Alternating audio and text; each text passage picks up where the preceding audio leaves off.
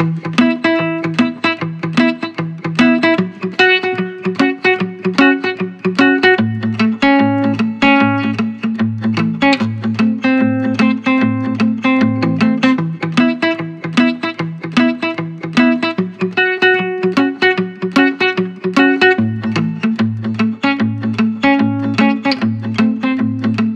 పేరు రత్న.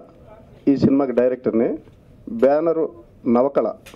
సినిమా పేరు కత్రినా కరీనా మధ్యలో కమల్ హాసన్ ఈ సినిమా మేము చాలా అవస్థలు పడి గందరగోళం అయ్యి చాలా ఇబ్బందులు పడి మొత్తానికి సినిమా కంప్లీట్ చేశాము.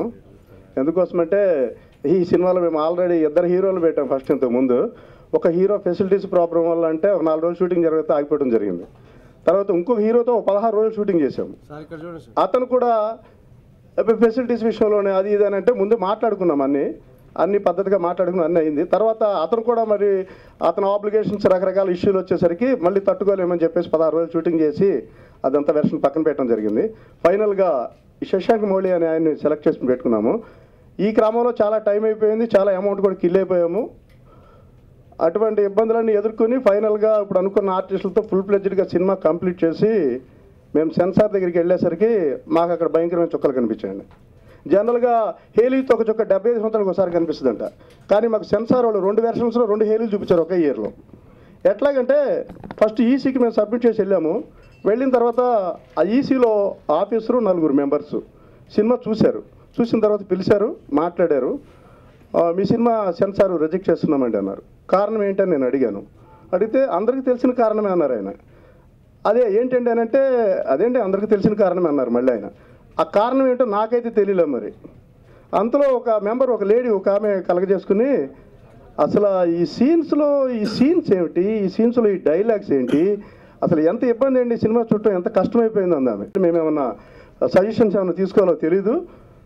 ఫైనల్గా అట్లా చెప్పేశారు బయటకు వచ్చాము. అయిపోయిన తర్వాత నెక్స్ట్ ఒక ఈసీ ఈసీ నుంచి ఆర్సీకి సబ్మిట్ చేశాము. వాళ్ళు ఒక పదిహేను రోజుల తర్వాత వీలు చూసుకుని సినిమా చూశారు. ఎయిట్ మెంబర్స్ చైర్మన్ వాళ్ళు కూడా అయిన తర్వాత పిలిచారు వెళ్ళి కూర్చుని ఏమిటండి ఈ విషయం అని అంటే వాళ్ళు ఈసీలో లాగానే ఆర్సీలో కూడా ఈ సినిమాని రిజెక్ట్ చేస్తున్నామండి అన్నారు. కారణం ఏంటి అంటే మీరు ఫర్దర్ స్టెప్కి వెళ్ళిపోండి అని ఒక మాట చెప్పి క్లోజ్ చేశారు వాళ్ళు. ఇక మాకు అనిపించింది మేము ఇంత సెన్సార్ వాళ్ళకి ఇంత దారుణమైన ఫీల్ కలిగిన సినిమా తీసామా అని మాలో మేము తర్కించుకోవడం అయింది. చాలా బాధపడ్డాము. ఫర్దర్ స్టెప్ ఏంటంటే అసలు మాకు ఇంకా అక్కడి నుంచి ఎట్లా వెళ్ళాలి ఏంటనేది కూడా అర్థం కాల. ఇక తర్వాత దీనిపైన ఒక ట్రిబ్యునల్ అని ఒకటి ఉంటుంది ఢిల్లీలో అని తెలిసింది. అయితే ఉంది కానివ్వండి ఇక్కడ తెలిసిన వాళ్ళు ఈ సరౌండింగ్ ఉన్న చోటే మనకి ఇక్కడ ఆన్సర్ రాకపోతే ఇక్కడ ఎక్కడో ఢిల్లీలో మనకు తెలియని చోటకి వెళ్ళి సెన్సార్ కోసం వెళ్తే అక్కడ మనం ఏం చేయగలుగుతాము? భాష కానీ ఏరియా మనకు తెలియని ప్రాంతం అని చెప్పి అనుకున్నాము. ఇక ఓవరాల్గా మాకు ఏ రకమైన బ్యాక్గ్రౌండ్ లేకపోవడంతో సిస్టమ్ ప్రకారం వన్ బై వన్ అనుకున్నట్లుగా ఆర్సీ నుంచి ట్రిబ్యునల్కి వెళ్ళడానికి ప్లాన్ చేశాము. దాని ప్రకారం ఒక subtitles script translation technical aspects ఇదంతా కలుపుకుని ఒక వన్ మంత్ టైం పట్టేసింది. అయిపోయిన తర్వాత వాళ్ళకి వెళ్ళి సబ్మిట్ చేస్తే ఆఫ్టర్ సిక్స్టీ డేస్ సబ్మిట్ చేసిన తర్వాత అరవై రోజులకి వాళ్ళు సినిమా చూశారు. చూసి చూసే ముందే కొంచెం మాట్లాడటం కూడా జరిగింది. నేను ఈ సినిమా చేయట కారణాలు అవన్నీ కూడా ఉద్దేశాలు చెప్పాను. ఈ కథ చేయట కారణాలు అవన్నీ చెప్పాను. ఫైనల్గా సినిమా చూసిన తర్వాత వాళ్ళు ఏ క్లియర్ సర్టిఫికేట్ ఇస్తున్నామని చెప్పారు. ఖచ్చితంగా వన్ వీక్ రిపోర్ట్ పంపిస్తామని చెప్పారు. వన్ వీక్ వాళ్ళు క్లియర్ చేస్తూ ఏ సర్టిఫికేట్ ఇస్తూ వితౌట్ కట్తో సినిమా సెన్సార్ అయిందండి. ఈ ప్రాసెస్ ఈసీఆర్సీ ట్రిబ్యునల్ వరకు ఇలా జరిగింది.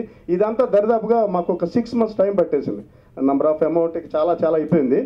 అయిన తర్వాత మేము ఫ్రీ అయ్యాం కానివ్వండి వాళ్ళు చెప్పిన మాటలు అయితే కనుక మాకు చాలా బాధ కలిగించే మా టైం కిల్ అయింది.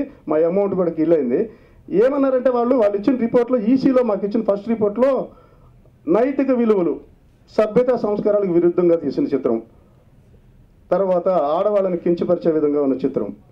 లైంగ్ ప్రేక్షకులలో లైంగికోత్సాహాన్ని కలిగించే చిత్రం అని చెప్పి వాళ్ళు అన్నారు. మేమెవరమండి లక్ష లక్షలు ఖర్చు పెట్టి ఒకళ్ళు కించపరచడానికి సినిమా తీయటాకిను ఇంకొకళ్ళు ఉత్సాహాలు కలిగించి సినిమా తీయటానికి అసలు ఆ లైంగిక ఉత్సాహాలు కలిగించడానికి సినిమా అరవై లక్షలు పెట్టి డెబ్బై లక్షలు పెట్టి సినిమా తీయాల్సిన అవసరం లేదు. అయినా ఎవరి ఉత్సాహాలు వాళ్ళకు ఉన్నాయి ఆ విషయం ప్రత్యేక మనం ఎవరు ఉత్సాహాలు కలిగించాల్సిన అవసరం లేదు.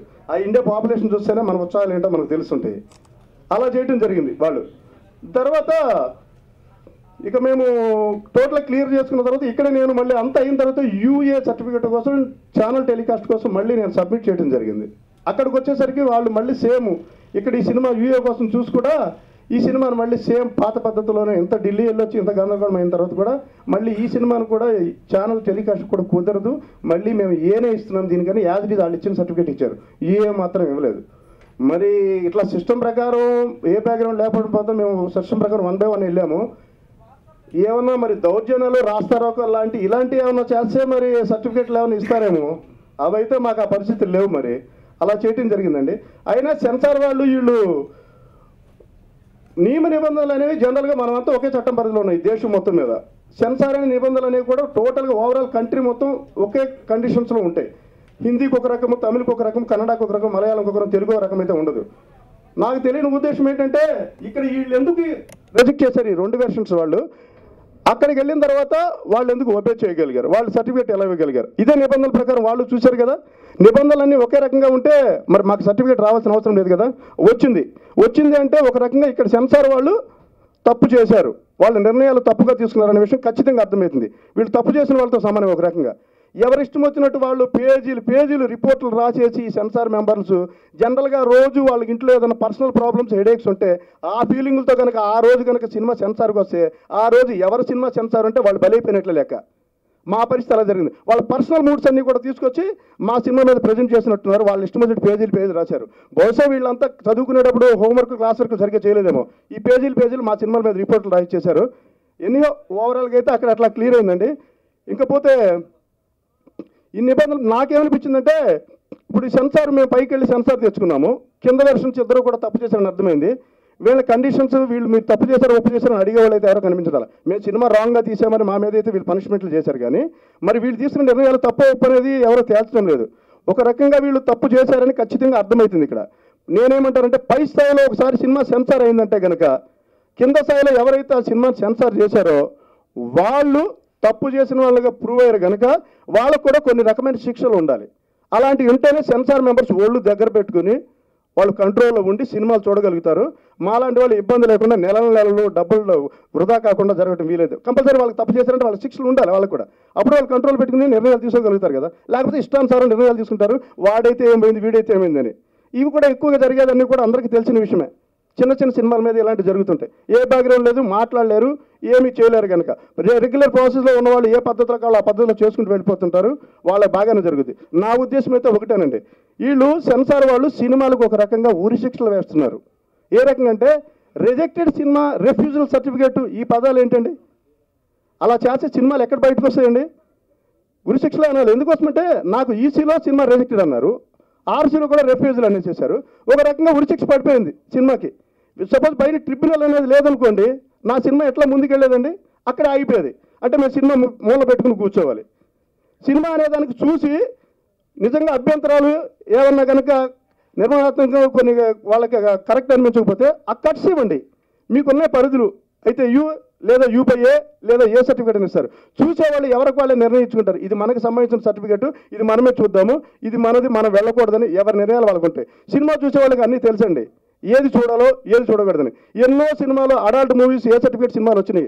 ఆ సినిమా హాల్కి ఏ అమ్మాయి కూడా ఈ రోజు టికెట్ తీసుకుని దారి తప్పి సినిమా హాల్లోకి వెళ్ళిపోయిన సంఘటనలు ఇక్కడ లేవు. ఊర్లో ఉన్న పల్లెటూరులో వాళ్ళు చదువులేని అమ్మాయిలకు వాళ్ళకు కూడా తెలుసండి. మనం ఈ సినిమా మనది కాదు మనం వెళ్ళకూడదు అనే విషయం. అలాంటి వాళ్ళకి తెలిసినప్పుడు జనరల్గా సర్టిఫికేట్ ఇష్యూ చేస్తే మిగతా వాళ్ళు ఎందుకు వెళ్తారు ఎందుకు బాధపడతారండి? అలా జరగదు కదా. కానీ వీళ్ళైతే వీళ్ళు ఇష్టం వచ్చినట్లు ఇలా నిర్ణయాలు తీసేసుకున్నారు. అయినా రెండు గంటల సినిమా ఎఫెక్షన్ అనేది ఎమోషన్ అనేది ఆ రెండు గంటల ప్లేలోనే ఆ విషయం అక్కడ చూసి జనాలు థియేటర్లో నుంచి బయటకు వచ్చేటప్పుడు అది మర్చిపోయి బయటకు వచ్చేసారండి. ఆ ఫీల్ అంతా డోర్ డోర్ బయటకు వచ్చేటప్పుడు ఆ డోర్ దగ్గర వదిలేసి హాల్లో నుంచి బయటకు వచ్చేస్తారు. సినిమాలో చూసిన ఎమోషన్స్ అన్ని బయట ప్రజెంటేషన్లోకి చేయరు అలాగే లోపల ఉన్న నిర్ణయా దేవుని సినిమాలో దాడులు చేసే సంఘటనలు జరిగితే అవన్నీ చూసేసి సినిమాలో ఉన్న థియేటర్లో ఉన్న వేరే వాళ్ళ మీద దాడులు చేయరు అలాగే వేరే వేరే ఇంకా రొమాంటిక్ సీన్స్ ఉంటే అవి చూసేసి వేరే వాళ్ళ మీద పడిపోయి దాడులు చేసే పరిస్థితి. అలాంటి ఏం చేయాలి. ఒకళ్ళ మీద ఒకళ్ళు పడిపోవడం జరిగింది ఎవరి పరిధిలో వాళ్ళకు ఉంటాయి. సినిమాలు చూసే వాళ్ళకి ఖచ్చితంగా వాళ్ళకు నిర్ణయం ఉంటుంది. వాళ్ళకి వ్యవహారాలు చేయొచ్చు. సపోజ్ రాకెట్ ప్రయోగం సినిమాలు చూసి నిజంగా చెడిపోతారు. సినిమాలు చూసి ఇబ్బంది పడిపోతారు. సొసైటీ సర్వనాశనం అయిపోతుంది. వీళ్ళు అనుకుంటే కనుక రాకెట్ ప్రయోగాల మీద ఎన్నో సినిమాలు వచ్చుంటాయి. ఆ సినిమాలను చూసేసిన ప్రేక్షకులు బయటకు వచ్చేసి రాకెట్ ప్రయోగాలు చేశారు కదా. అలాగే అరాచకాలు అరికట్టే వాటి మీద సినిమాలు చాలా వచ్చినాయి. ఆ సినిమాలు చూసిన ప్రేక్షకులు బయటకు వచ్చి అరాచకాలు అరికట్టే కంకణం కట్టుకుని తిరగరు కదా. సో లిమిట్ అనేది ఆడియన్స్ ఖచ్చితంగా తెలుసండి. ఒక విలేజ్లో ఉన్న వాళ్ళకి కూడా తెలుసు. అనవసరంగా వీళ్ళే రాద్దతం చేస్తున్నారు. అసలు డబుల్ మీనింగ్ అనే విషయం మాట్లాడితే వీళ్ళు ప్రతిదీ డబుల్ మీనింగ్ ఫీల్ అవుతున్నారు మన సెన్సార్కి వచ్చే ముందే ఏమేమి కట్ చేద్దాము ఏమేమి తీసేద్దాము మన దగ్గర ఉన్న కత్తులు కడలు అన్నీ వేసుకుని వీళ్ళు సెన్సార్ ఆఫీస్కి వచ్చేస్తున్నారు. వచ్చిన దగ్గర నుంచి లేని దాన్ని కూడా వీళ్ళు డబుల్ మీనింగ్ ఫీలింగ్ కలగజేసుకుని అంతే డబుల్ మీనింగ్ యాంగిల్ వీళ్ళు చూస్తున్నారు. ప్రేక్షకులు చాలా లైట్ తీసుకుంటారండి. నేను ఉత్సాహాలు ఒక చిన్న ఎగ్జాంపుల్ చెప్తానండి. ఒక గుడి దగ్గరకు వచ్చి ఒక భక్తురాలు వచ్చి ఒక పూజని ఇంకొంచెం ప్రసాదం పెట్టండి. అని అంటే ఏంటండి పెట్టేది అని వీళ్ళు ఫైనల్గా వీళ్ళు మమ్మల్ని క్వశ్చన్ చేసే పరిస్థితి వస్తుంది. ఏం పెట్టమంటారండి? అది పూర్తి ఎలా అవుతుంది? అది డబుల్ మీనింగ్ అది. మీరు చూసే యాంగిల్ బట్టి ఉంటుంది ప్రతిదీ కూడా. ప్రతిదీ కూడా మీరు అలా రాంగ్ యాంగిల్ ఆలోచన రాంగ్ యాంగిల్ అని ఉంటుంది. ఫైనల్గా నేను చెప్పేది ఒకటేనండి. ఏంటంటే సినిమా అనే దానికి సర్టిఫికేట్ రెఫ్యూజల్ అనే పదాన్ని తీసేయండి దయచేసి. అభ్యంతరాలు ఉంటే కట్స్ ఇవ్వండి అవి ఆమోదించుకుంటారు. మీరు ఇచ్చిన సర్టిఫికేట్తో సినిమా రిలీజ్ చేసుకుంటారు. ఏవి చూడాలో ఏవి చూడకూడదు అనేది ప్రేక్షకులు డిసైడ్ చేసుకుంటారు. అది మాత్రం చేయండి. తర్వాత ఏంటంటే సెన్సార్ వాళ్ళకి పరిధులు లేకపోవడం వల్ల వాళ్ళ ఇష్టానుసారం నిర్ణయాలు తీసుకున్నారు కనుక వాళ్ళు కూడా దుందుడుకుగా సరైన నిర్ణయాలు తీసుకోకపోతే పై స్థాయిలోకి సినిమా వెళ్ళి సెన్సార్ పొందితే కింద స్థాయిలో ఎవరైతే ఆ సినిమాను స్క్రూటినీ చేశారో వాళ్ళ కఠినంగా పనిష్మెంట్స్ ఉండాలి. ఉంటే వాళ్ళు అప్పుడు ఒళ్ళు దగ్గర పెట్టుకుని ఖచ్చితంగా నిర్ణయాలు తీసుకుంటారు. ఇలాంటి మిగతా వాళ్ళకి ఎవరికి రాకుండా ఉండాలని ఇది చాలా ముఖ్యమైన అంశము. ఒక రకంగా చూస్తే ఆడవాళ్ళ పాయింట్ ఆఫ్ వ్యూలో ఇది ఒక పెద్ద సమస్య. ఈ రోజున సొసైటీలో ఇది ఒక పెద్ద పరిష్- పరిష్కరించుకోవాల్సిన సమస్య. ఈ విషయం గురించి మేము సినిమా తీసాము. ఇది వాళ్ళకి మాత్రం వేరే యాంగిల్లో కనిపించింది. ఈ నేను ఈ కథ అనుకున్న తర్వాత నేను ఎవరి దగ్గర ఈ సినిమా గురించి నేను టాపిక్ చేసిన ఈ సినిమాల సెంటర్ ఏడే చెప్పిన ఒక్కొక్కరు వాళ్ళకి సంబంధించిన వాళ్ళ ఈ చుట్టుపక్కల ఉన్నాయి నాలుగైదు ఉదాహరణలు చెప్పుకుంటూ వచ్చారు. ఈ సినిమాల సెంటర్ లేడ ఏంటంటే ఫైనల్గా పెళ్ళికి మొగుడు మాత్రమే కాదు కావాల్సింది ఆ మొగుడు మగాడు అయి ఉండాలి అని ఒక అమ్మాయి చదువుకున్న అమ్మాయి అనుకుని ఉంటుంది. అది సెంటర్ లైన్ అండి ఈ సినిమా. ఈ బేస్ మీద సినిమా తీసాము. వాళ్ళకి అభ్యంతరం ఇచ్చింది. సార్ పెళ్ళికి మొగుడు మాత్రమే కాదు కావాల్సింది ఆ మొగుడు మగాడు అయి ఉండాలి. సిక్స్ ప్యాక్ ఉన్నవాళ్ళు బాగా డబ్బులు ఉన్నవాళ్ళు కోటీశ్వరులు చాలా మంది ఉన్నారు. అది ఉందా ఇది ఉందా క్వాలిఫికేషన్ ఏంటి వీడి పర్సనల్ ఫిజిక్ ఏంటి వీడి బ్యాక్గ్రౌండ్ ఏంటి అని పెళ్ళి చేస్తారు. ఫైనల్గా వాడు మగవాడు కాదు అనుకుంటే కనుక వాళ్ళతో ఆమె కాపురం చేయగలుగుతుందా? ఎవరైనా సొసైటీలో దీన్ని ఒప్పుకోగలుగుతారా? ఇది జరగదు కదా? ఒక రకంగా ఆడవాళ్ళు చాలామంది సాక్రిఫైస్ చేస్తున్నారు. ఇలాంటి విషయాలు చెప్పుకోలేరు. ఇవి సమస్యలు వచ్చిన తర్వాత బయటపడిన తర్వాత అందరూ గగ్గోలు పెట్టేసి కుటుంబాలు కుటుంబాలు సర్వనాశనం అయిపోతుంది దీన్ని ఎలా పరిష్కరించడం అనేది వేరే విషయం. ఇదొక ఇష్యూ అండి. ఇదొక సమస్య చెప్పుకోలేని సమస్య. మీకు ఎగ్జాంపుల్ చెబుతున్నాను. మొన్న ఒక one week ten days back బెంగళూరులో ఒక ఇన్సిడెంట్ జరిగింది. సాఫ్ట్వేర్ ఇంజనీర్ అమ్మాయి సాఫ్ట్వేర్ ఇంజనీర్ అబ్బాయి మూడు రోజులు పెళ్ళైన తర్వాత నాలుగో రోజు నుంచి అబ్బాయి పట్టాలేడు. ఫైవ్ మంత్స్ వరకు అమ్మాయి చూసి పొల్యూషన్లో కంప్లైంట్ ఇచ్చింది. ఏంటంటే వాటి మొగాడని ప్రూవ్ కాలేదంటే పత్తలేడు ఏమైపోయాడు తెలియదు అమ్మాయి పొల్యూషన్ కేసు పెట్టి ఏమందంటే నా నలభై ఐదు లక్షలు ఫ్లాట్ రాసిస్తాను అతను కనుక నాకు సంతానం కలిగజేసే మనిషి ఉంటే ప్రూవ్ చేయగలుగుతాను ఇలాంటి నంబర్ ఆఫ్ ఇష్యూస్ జరిగినాయండి చాలా కేసులు జరిగినాయి. ఇది సెంట్రల్ ఐడ్ అండి. ఓకే? సార్ పరిష్కారం అంటే నేను ఒకటో చెప్తున్నాను. నేను ఒకటే చెప్తున్నానండి. అంటే సమస్య సమస్య అనేది ఉంది. ఈ సమస్యని ఎవరు ఎలా పరిష్కరించాలో ఎవరు మానసిక స్థితిని బట్టి వాళ్ళకు ఉంటుంది సార్ మా సినిమాలు అంటే నేను ఫైనల్ ఒకటే చెప్పానండి. డైరెక్ట్గా సమస్యను పరిష్కరించే యాంగిల్లో చేస్తే పరిష్కారం అవుతుంది. అది నిజం కాకుండా అనుమానం యాంగిల్లో ప్రయత్నాలు చేస్తే అది వేరే చోటుకి తీసుకెళ్తుంది. ఓవరాల్గా అయితే కనుక చాలా విషయాలు అండర్స్టాండింగ్లోనే పోతాయి. వీటి ముందే వీటి గురించి తవ్వుకునే ప్రయత్నాలు చేయొద్దు అని నేను అట్లా చెప్పుకొచ్చాను. మిత్రులందరికీ నమస్కారం. కరీనా కత్రీనా మధ్యలో కమల్ హాసన్. ఇందాక డైరెక్టర్ గారు చాలా స్ట్రగుల్ చెప్పుకుంటూ వచ్చారు. తను how he faced all toughness in life. అంటే ఈ సినిమా చేయడం ప్రతి ఒక్క సినిమాకు ఒక చిన్న సినిమాలకి ఎస్పెషలీ ఇది ఒక చిన్న టెస్ట్ లాగే అనమాట మనం సక్సెస్ అయ్యి ఎడిటింగ్ అయ్యి డబ్బింగ్ అయ్యి సెన్సార్ అయ్యి బయటికి రావడం చాలా పెద్ద విషయము. సో మొత్తానికి ఫినిష్ చేసుకొని బయటకు వచ్చిన సినిమా. ఈ film it's more like fun అండి. దీని సోల్ అంతా కామెడీనే ఉంటుంది. ఎక్కడగానే మెసేజ్ ఏదో ఇచ్చేసి ఇచ్చేసి అంటే ఆ దాంట్లో ఒక మెసేజ్ డెఫినెట్గా ఎవరికి సంబంధించినట్టుగా వాళ్ళు ఇంటర్ప్రిట్ చేసుకోవచ్చు. కానీ ఓవరాల్గా మీరు క్యారెక్టర్లన్నీ కూడా నవ్వించేటట్టు నవ్వుకుంటూ సరదాగా టూ అవర్స్ సినిమా నడిచిపోయేటట్టే ఉంటుందండి. ఎక్కడ ఎవరి మనోభావాలు కించపరిచేటట్టు ఎక్కడ ఉండదు సినిమా. అండ్ డైరెక్టర్ రత్న గారు చాలా అద్భుతంగా తీశారు. ఇందులో చాలా మంది సీనియర్ ఆర్టిస్టులు ఉన్నారు. ప్రతి క్యారెక్టర్కి ప్రతి క్యారెక్టర్ని ఎలివేట్ చేసేటట్టుగా ఆయన చాలా చాలా చక్కగా తీశారు. ఉన్న ఎక్స్పీరియన్స్ అంతా ఈ చాలా ఏళ్ళుగా ఇండస్ట్రీలో ఉన్నారు. కాబట్టి అందులో ఇందాకే చెప్పారు ఆయన ఇద్దరు హీరోస్ వద్దనుకున్నాక నన్ను నేను కూడా చాలా స్టాండప్ కామెడీస్ అక్కడ రోల్స్ అవి ఇవి చేస్తుండేవాడిని.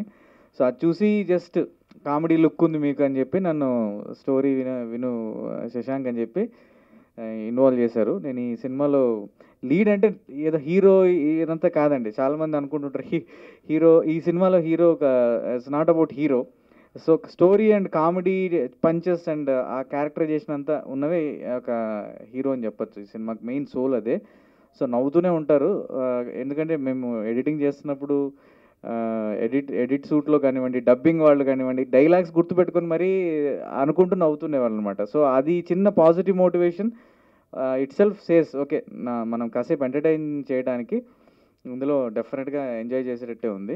అండ్ సినిమా అంటే మనకు తెలుసండి ఒక మీడియం చాలా రకరకాల వాళ్ళకు రకరకాల ఉద్దేశాలతో they have their own creativity so ఒక ఏదైనా సబ్జెక్టు ఒక సొల్యూ సో సొసైటీలో ఇష్యూ బట్ కానివ్వండి లేకపోతే మెసేజ్ ఓరియంటెడ్ రకరకాల సినిమాలు ఉంటాయి.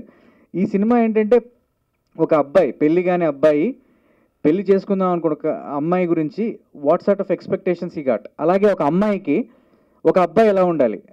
అనేది ఆ అమ్మాయి ఎక్స్పెక్టేషన్స్ ఆ అమ్మాయి యాంగిల్లో ఎలా ఉంటుంది అనేది మొత్తం చాలా తమాషాగా ఎక్కడ ఆ సెన్సిటివ్ ఇష్యూస్ని తీసుకొని ఎలా ఉంటుంది అని సినిమాలో అలా మొత్తం సాగుతుంటుంది.